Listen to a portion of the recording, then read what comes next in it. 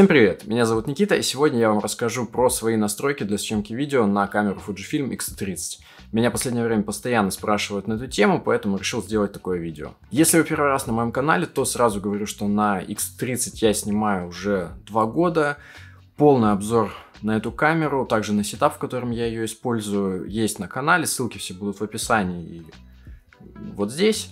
Можете посмотреть. Здесь я уже не буду повторять всю эту общую информацию, что камера может, что не может. Конкретно поговорим про настройки, чтобы не делать это видео очень длинным. А, итак, сейчас я расскажу про несколько сценариев, в которых я использовал эту камеру и какие настройки я в этих случаях применяю. Но для начала я расскажу общие вещи, которые практически во всех сценариях у меня всегда были одинаковыми. Первая общая вещь это разрешение.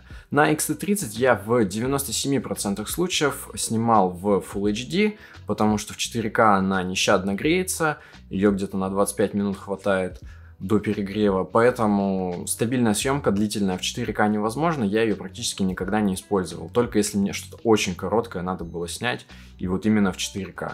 Битрейт в 90% случаев я выставлял на 50 мегабит в секунду, для Full HD такого битрейта за глаза хватает, и файлы занимают меньше места на жестком диске.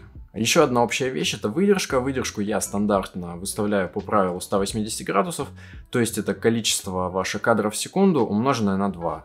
Если, например, вы снимаете 25 кадров в секунду, то выдержка, соответственно, у меня стоит 1,50. Если 24, 1,48, ну и так далее. Колесо регулировки затвора у меня, которое верхнее, стоит всегда на Т, и саму выдержку я регулирую задним колесом. Еще одна общая вещь это баланс белого. Его я обычно выставляю либо по кельвинам, соответственно это у меня 5600 обычно, потому что мои источники работают именно с такой световой температурой. Либо я его выставляю по какой-то белой бумажке, белому листку, потому что я до сих пор почему-то не купил себе карту серого. Она вроде стоит копейки, но как-то вот у меня не дошло. У меня активирована зебра в камере, она у меня стоит на 100%, то есть э, появляется, когда какой-то участок полностью пересвечен, и там вообще никакой информации нет. Я знаю, что кто-то ставит там на 97, кто-то вообще на 70 ставит, но мне вот так удобнее. При использовании ручной фокусировки я пользуюсь фокус-пикингом.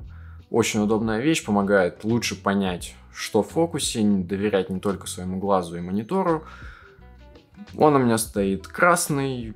Тут как бы дело вкуса, кому как больше нравится. Звук у меня из внешнего и с внутреннего микрофона стоит по умолчанию на минус 12 дБ.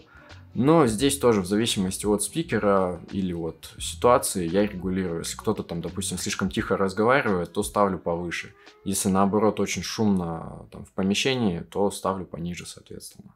Ну а теперь давайте рассмотрим несколько сценариев общих таких, в которых я обычно снимаю. Первый сценарий это когда мне нужна вот какая-то классическая такая четкая, прилизанная, официальная, если можно так выразиться, картинка, без каких-то вот творческих изысков. В таком случае я ставлю, оставляю стандартный цветовой профиль, это у нас Provia, Частоту кадров я выставляю 25, потому что это стандарт в нашей стране. Если же собираюсь замедлять, то, соответственно, 50 или 100. Но 100 для таких съемок очень редко использую, потому что ну, обычно в таких съемках там мега slow motion никогда не нужен. Динамический диапазон у меня стоит 100, все настройки по нулям. Выдержка, как я уже говорил, 1,50.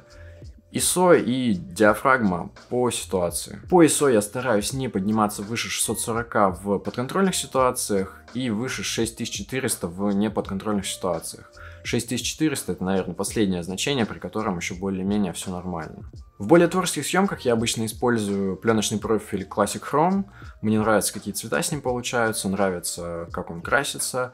Чуть, ну, наверное, пореже я использую Eterna, она тоже прикольная, но все-таки Classic Chrome вот мне лично больше нравится. Частота кадров в таких проектах у меня обычно стоит 24. Если надо замедлять, соответственно, я использую 60 или 120. Мне очень нравится slow motion, я его использую как для там, различных биролов, для съемки предметов каких-то, в том числе для канала на ютубе. Танцевальные видео тоже в slow motion классно смотрятся. Но тут стоит еще помнить, что в 120 FPS, а иногда и в 60 FPS, что уж там, X30 перегревается при длительной съемке. Причем греется она нещадно даже с, с питанием через обманку, то есть даже это не спасает. Все настройки по свету, резкости, тон теней, тон цветов у меня тоже в ноль стоят.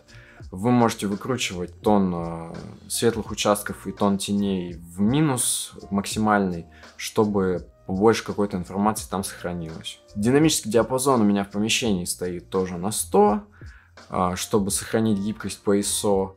Если я снимаю на улице, то 400 ставлю, использую ND-фильтр, чтобы получить, опять же, большую гибкость по динамическому диапазону здесь. Если говорить про F-Log, то его я использую вообще не часто, в основном это только при съемках на улице, в яркую там, солнечную погоду, закат-рассвет, например чтобы э, иметь больше динамический диапазон и на посте иметь больше контроля над цветокоррекцией. Но это опять же только если там, я понимаю, что я хочу заморочиться и прям потратить время на эту цветокоррекцию. Если нет, то там та же Eterna, Classic Chrome и динамический диапазон 400. По Flock я делал отдельное видео, можете его посмотреть, там рассказывал, как я экспонируюсь, как я его потом крашу, ну, если в целом говорить, то экспонируюсь в флоге я по теням, потому что если по ним не экспонироваться, то тени будут жестко шуметь. Эта экспозиция где-то плюс один от нормальной. По автофокусу у меня стоят базовые настройки, там я ничего не менял. Для видео я использую режим AFC. По режимам там отслеживания по лицу, мульти или по кадру, это все там в зависимости от ситуации я включаю, я всеми пользуюсь и по какой-то выбранной вот точке я использую иногда фокусировку, и по лицу, и по глазам, и мульти, потому что в разных ситуациях э, оно по-разному лучше работает. Тут э, все зависит от опыта. Чем больше вы будете пользоваться камерой, тем больше будете понимать, в каких ситуациях конкретно какой режим автофокуса лучше работает, если снимаете именно с автофокусом. Ну, если кого-то как бонус интересует фото, то тут все еще проще. Я ставлю обычно скорость затвора на авто, ISO а, и диафрагму регулирую сам. Снимаю я в RAW и уже потом на компе в Lightroom все редактирую, делаю как мне нравится, как я хочу. JPEG практически никогда не использую, всегда правки. А вот, собственно, и все, все настройки.